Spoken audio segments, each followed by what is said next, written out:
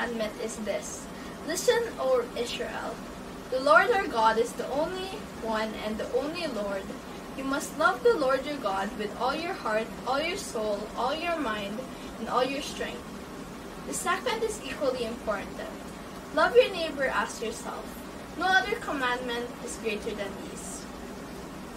In Romans chapter 5, verse 8, Apostle Paul describes God's great love towards us by saying, But God showed his great love for us by sending Christ to die for us while we were still sinners. Kid Lifers, everything starts with and for God. He loved us first. He loved us while we were yet sinners and unlovable. As our response, let us offer our lives to Him. Let us love Him with all our heart, mind, soul, and strength. Let us praise and adore Him, for nothing can separate us from His great love. Let's sing this song and worship Him together.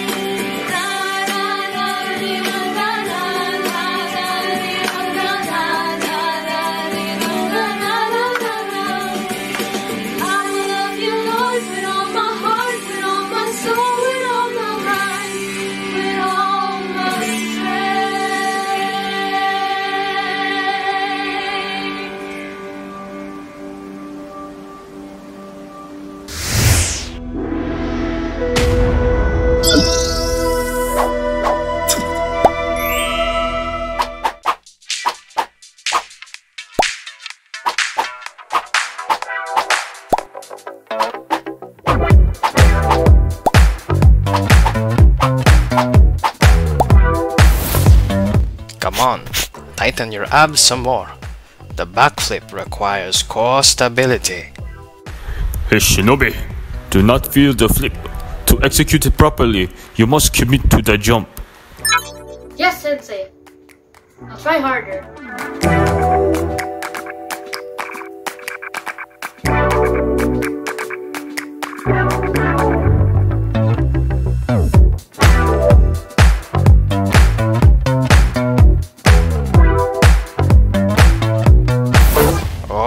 That's enough warming up. Everyone, gather around.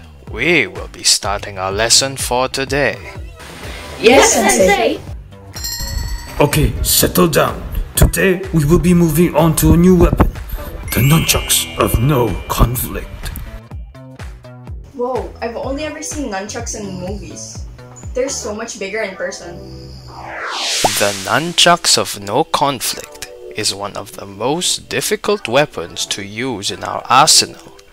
It took weeks for Lord G and I to fully bring out the weapon's potential.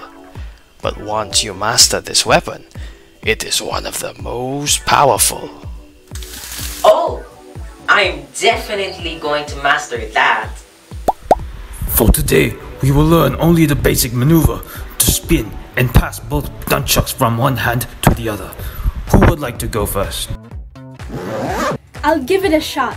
It shouldn't be that difficult, right?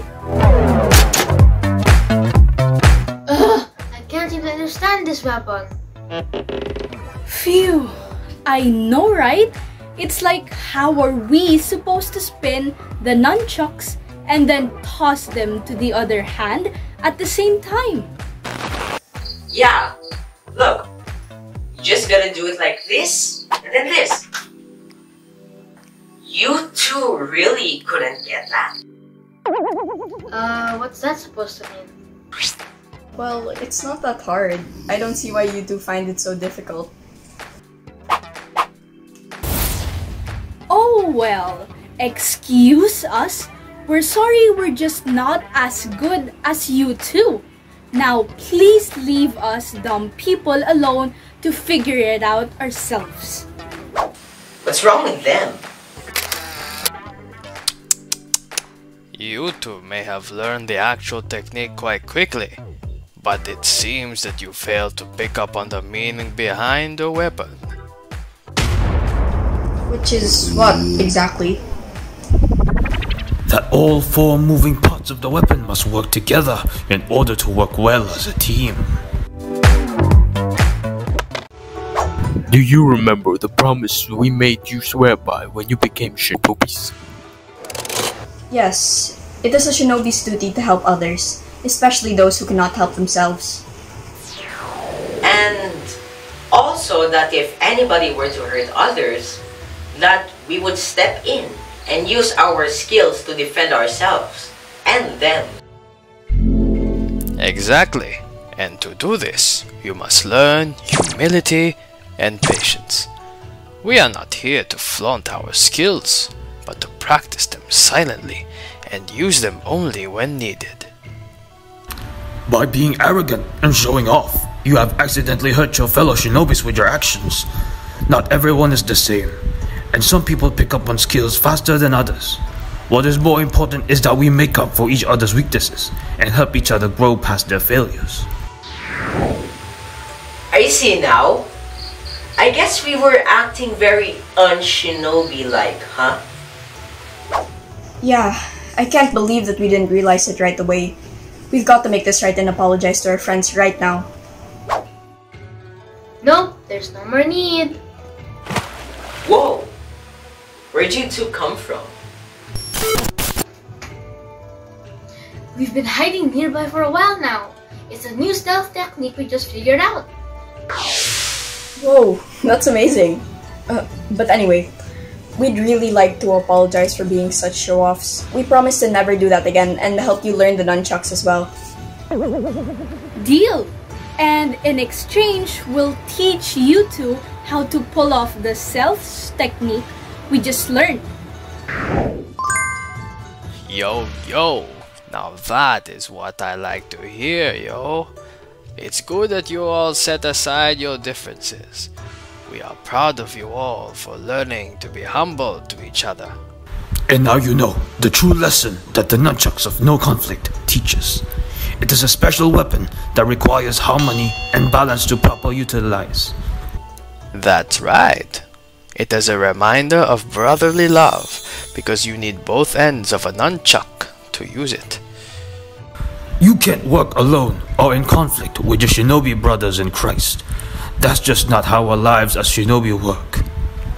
God designed us to work together and to love each other in brotherly love. When you are able to do that, then you four will be unstoppable. Do you understand that, our dear shinobi? Yes, Sensei. Alright then. It looks like it's time for us to celebrate your training with some yummy yummy lunch. Let's go. I am hungry.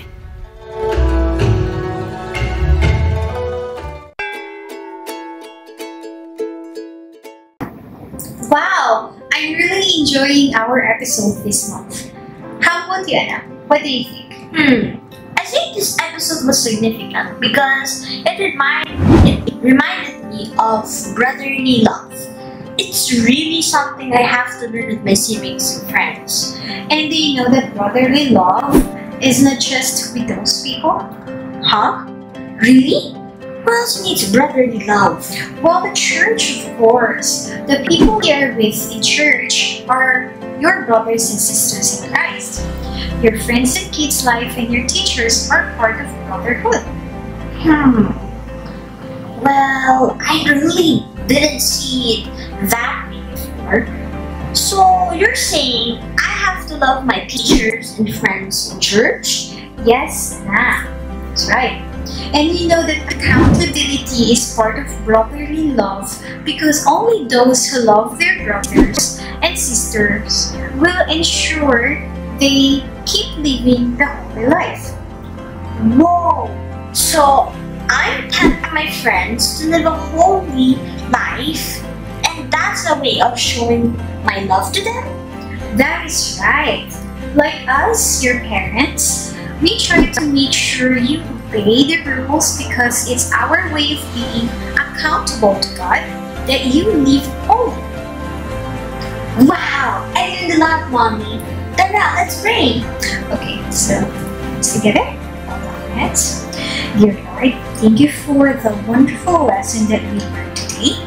Please help us to help us all to have brotherly love for our brothers and sisters in Christ uh, and in church. In Jesus' name we pray. Amen. Brotherly love and accountability. Who knew that these two were interconnected? Well, as the teachers, we should have known, Sensei. But anyway, brotherly love is something that our shinobi have just started to learn and should practice. Truly, Lord G. In fact, this reminds me of our passage in 1 Thessalonians chapter 4 verses 9 to 10. Now, about your love for one another, we do not need to write to you, for you yourselves have been taught by God to love each other. And in fact, you do love all of God's family throughout Macedonia. Yet, we urge you, brothers and sisters, to do so more and more. Ah, I do see what you mean. God has commanded us shinobi to love each other as brothers and sisters, and because we are accountable to God, we should do it. But it isn't just a boring command. See, loving is something exciting to do.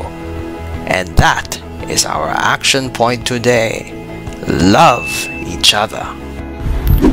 How is it exciting? What do we do to love each other, Sensei? Well, some of the things we have discussed, like accountability and making sure that our brothers live holy, is one. I think also just checking up on them and seeing if they're alright on a regular basis is another thing we can do. Yes, Ah Shinobi, it's important to know how your brothers and sisters in the church are doing and making sure that they feel your love. Some people may feel alone, so be there for them. Others might be discouraged or going through tough times, so pray for them. Encourage them. Let them know that they are not alone in the battle. So remember to love your brothers and sisters and make them feel it. Our lesson on brotherly love may seem simple, but applying it is the challenge. Remember, our dear shinobi, to love your brothers and sisters in Christ always. It is our way of being accountable to them. And by helping them live holy, we love them. We shall see you again in the dojo, dear Shinobi. Do not forget that we shall have our last lesson next week.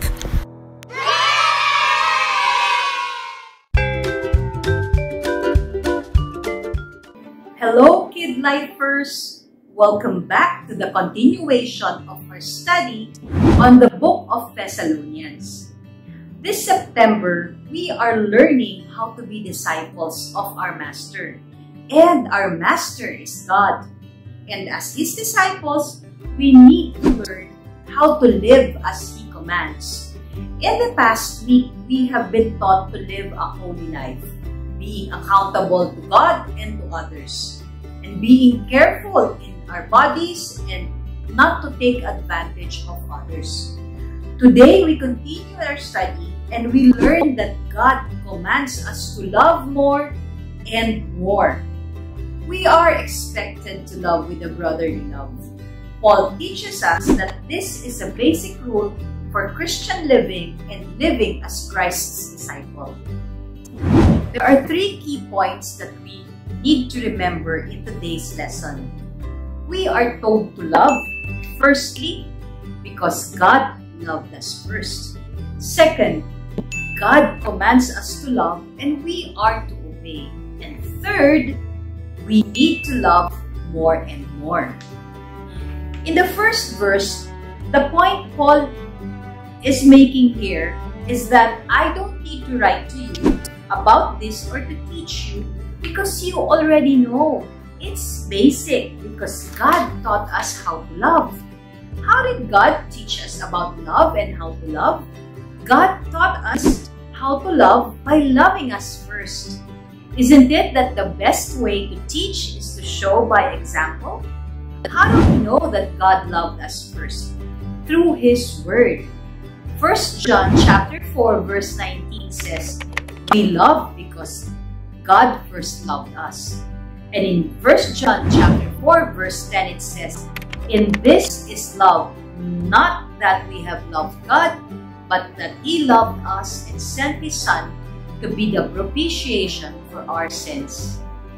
Continuing on with the second verse, Paul says here that you and I, as believers, are already loving with brotherly love. But we need to do it more and more. Do you notice the strong word here? It says, we urge you. It's stronger than the word I encourage you. It's the same as saying, you must. For indeed, we come to the second point of today's lesson. God commands us to love, and we are to obey. And lastly, in this last verse, it says, We urge you, brothers, to do this more and more. How much love should we give? This much? This much? Once a week? Once a day? Once a month? How much love shall we give? He answered, You shall love the Lord your God with all your heart, with all your soul, and with all your strength, and with all your mind, and your neighbor as yourself. So love with everything we have. Love with no limits, love without end, and without measuring asking for anything in return. The scripture tells us very practical ways on how we can show brotherly love. And we will study and share this together on Saturday in our online study at 3.30 p.m. or on site at 10 a.m. on Sunday. See you all!